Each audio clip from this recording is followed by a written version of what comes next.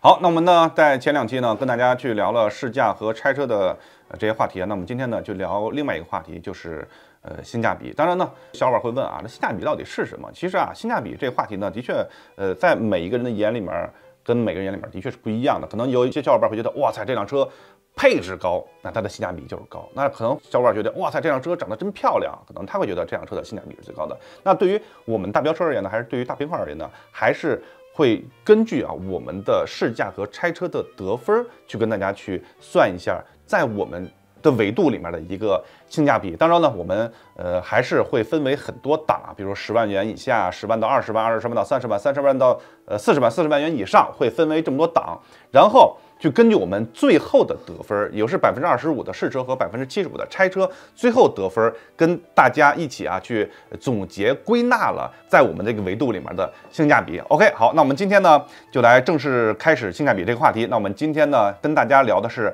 十万元以下的车型。可能小伙伴会觉得，哎，十万元以下，哇塞，可能我们拆的五十多多个车里面好像的确不太多啊。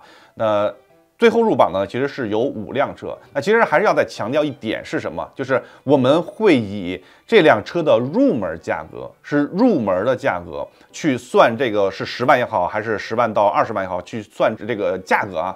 呃，是因为我们还是愿意相信，对于厂商而言，他们制造的车型，那他们的价格高低，那仅仅是可能是排量上的区别，可能是配置上的区别。我们还是愿意相信他们在安全方面和他们的制造工艺和用料上面呢，大家都是一视同仁的。那呃，十万元以下的车型呢，我们呃拆过的这么多车里面呢，一共有五个车型。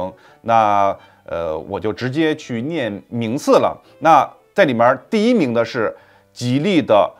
博越，那它的拆车是六十四分，那它的试驾呢是六十五分，那它最后的总分呢是六十四分。所以说，呃，吉利的博越是十万元以下的车型，分数啊拿到了一个第一名。所以我们还是啊，废话少说，还是直接颁奖吧。OK，好的，那吉利博越十万元以下的车型，它最后的总分是六十四分，所以说它拿到了一个。第一啊，我们继续啊，用我们这个用过了很多次的奖杯。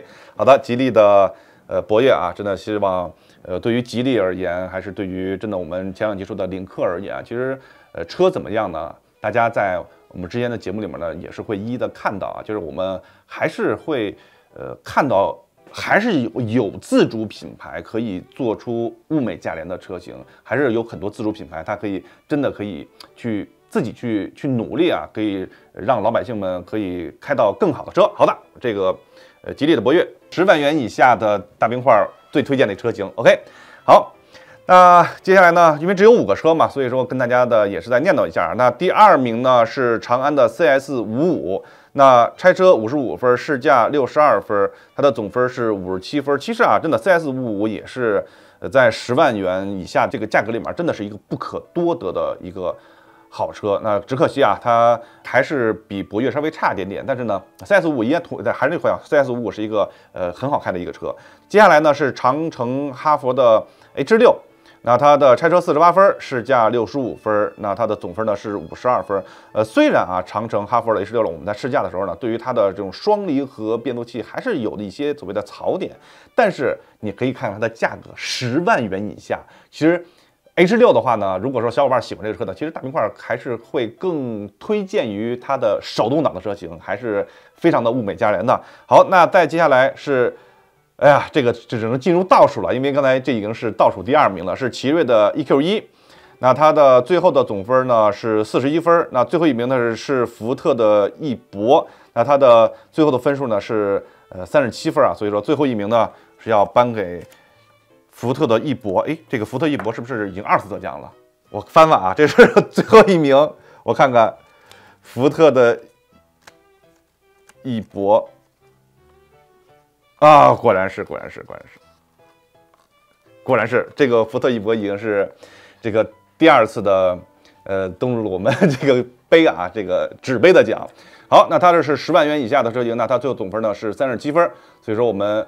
把这个奖项呢颁给了福特的翼博啊，好，这个奖项拿走吧，谢谢，再次登榜。好，再次登榜啊，还是希望明年不要再看见你了啊。就说啊，其实我们还是可以看到，我们还是有很多自主品牌的车型，还是要比合资品牌车型做得好。所以说呢，我对于大明块而言，还是真的会相信，真的再过几年，再过真的再过几年，大家一定不会再。